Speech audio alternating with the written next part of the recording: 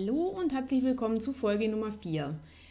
In Folge Nummer 4 fasse ich euch zwei kleinere Tools zusammen und zwar einmal die Werkzeuge und einmal die Favoriten.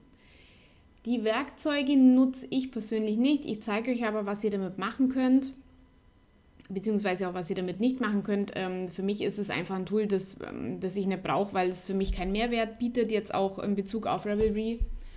Auf die Werkzeuge kommt ihr wieder über euer Notizbuch hier oben. Normalerweise hier ist das Chart Standard, das ist hier das, die erste Seite, die euch angezeigt wird. Und zwar könnt ihr hier einfach eure Nadeln eintragen, die ihr habt. Einmal hier oben die Double Pointed Needles und hier unten die Rundstricknadeln. Also das sind hier die, die Sockenstricknadeln und die Rundstricknadeln. Und im Prinzip könnt ihr hier eigentlich nur eintragen, wie viel ihr davon habt. Also wenn ihr hier auf irgendein Kästchen geht, also ich sage jetzt hier mal ähm, der 12 Zoll, äh, 12 Zoll ähm, das, die Seillänge und in Nadelstärke 3 kann ich hier drauf gehen und kann hier sagen Add, dann kommt hier einfach ein Nadelspiel mit dazu oder zwei oder drei oder wie viel ich auch habe. Viel mehr kann ich hier nicht machen, darum ist es für mich eigentlich nicht interessant. Was ich machen kann, wenn ich das jetzt hier drin habe, wenn ihr hier oben dann auf Detailed Inventory geht, könnt ihr noch einen Kommentar dazu hinterlassen. Also da könnt ihr dann, wenn ihr hier auf Edit geht, einfach sagen, weiß, ich weiß es nicht, vielleicht, keine Ahnung, es ist Lücke, Lücke, äh, es Lücke Nadeln oder irgendwie sowas oder ja, ich weiß nicht, was man da eingibt. Oder ihr könnt, ihr könnt vielleicht eingeben, in welcher Nadeltasche ihr das habt, aber vielmehr auch nicht. Drum ich finde, das ist eigentlich nicht, nicht notwendig. Also außer ihr habt jetzt wahnsinnig viele Nadeln und sagt, okay, ich möchte es jetzt wissen, nur das Problem ist auch, ich kann diese Nadeln eigentlich nicht oder ich kann hier nicht zum Beispiel über meine Projektseite zugreifen. Also ich kann nicht sagen, ich stricke das jetzt mit Nadelstärke 3 und hätte dann hier in der Ansicht eben eins weniger zur Verfügung. Das funktioniert leider nicht. Ich weiß auch nicht, warum nicht, aber dafür ist das da. Also wer das gerne nutzen möchte, der kann sich da austoben, kann da seine Nadeln eintragen Hug hier unten sind die Häkelnadeln. Könnt ihr mit angeben. Hier habt ihr noch so eine Übersicht für Tiny, also für kleine Nadeln, für ganz kleine. Da könnt ihr das noch äh, eingeben.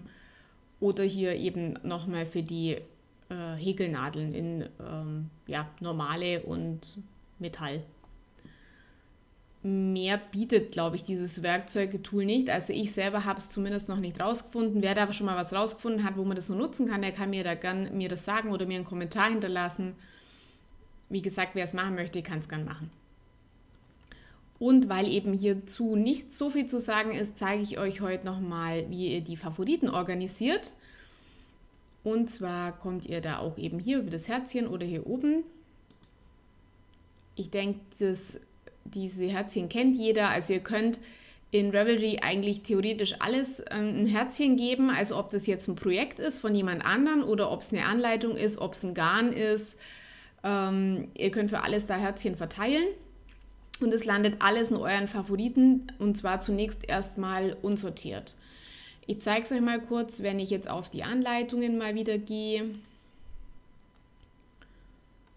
Jetzt nehme ich hier zum Beispiel mal die hier und sage, ich möchte meinen Favoriten speichern, dann geht immer hier erstmal so ein äh, kleines Fenster auf und ihr könnt hier, das ist jetzt auch was, was ich nutze, das in so ein Bundle geben, also äh, in einen Ordner geben, wo das schon mal ein bisschen vorsortiert ist. Das empfehle ich auch, weil ihr sonst wirklich äh, ein bisschen chaotisch, es werden ja mit der Zeit immer mehr Herzchen und sonst habt ihr ein bisschen chaotische Sortierung. Also ich sortiere das auch vor und kann jetzt hier zum Beispiel sagen, ich möchte das in die Oberteile einsortieren oder könnt es wieder gleich zu eurer Wunschliste hinzufügen oder was auch immer. Also könnt ihr auch direkt einen neuen Ordner anlegen, wo ihr das reinhaben wollt.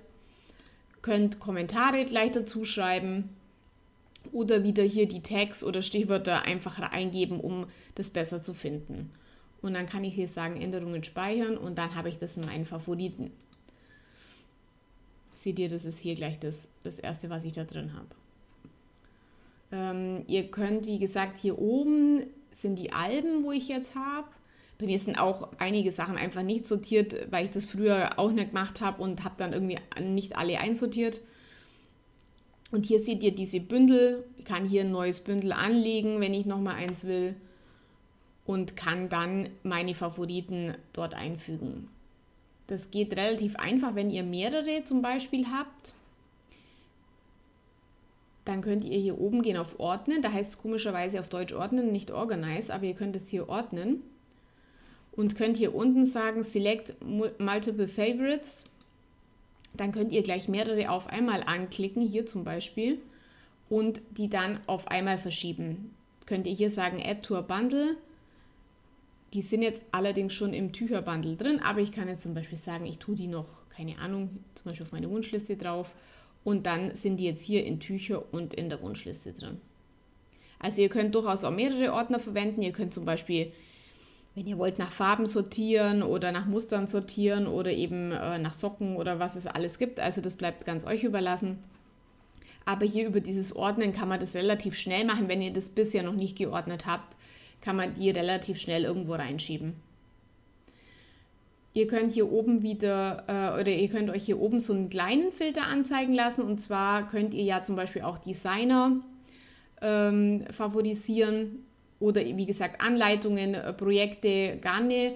Da könnt ihr das äh, filtern, was er euch anzeigen soll.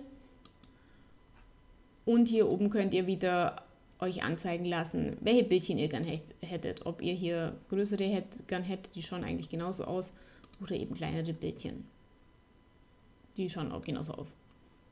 Ah, wahrscheinlich, weil ich im Ordnen bin. Moment, wenn ich mal auf Gesamt gehe. Ah ja. Da seht ihr jetzt hier den Unterschied, wie ich es anzeigen lasse. Das ging wohl in dem Ordner nicht. Jetzt habe ich wieder die großen oder hier eben als Fotoübersicht. So schaut es aus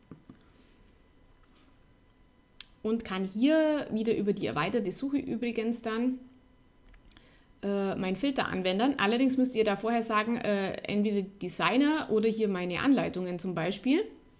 Das sind jetzt hier alle meine favorisierten Anleitungen und dann kann ich die hier filtern. Also da müsst ihr so eine kleine Vorauswahl treffen, was ihr filtern wollt. Und dann könnt ihr hier wieder den bekannten, sehr umfangreichen Filter anwenden und sagen, was habe ich denn alles in meinen Favoriten.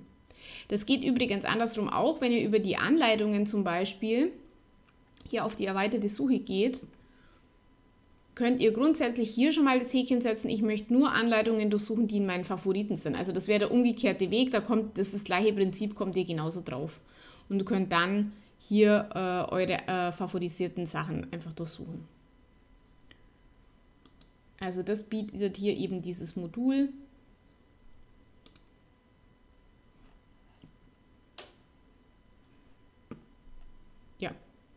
Mehr dann auch nicht. Natürlich könnt ihr wieder, wenn ich hier drauf gehe, aber dann kommt ihr einfach auf die Anleitungsseite. Seht ihr, ich habe es hier in den Favoriten, kann dann wieder sagen, in die Planung, anschlagen und so weiter.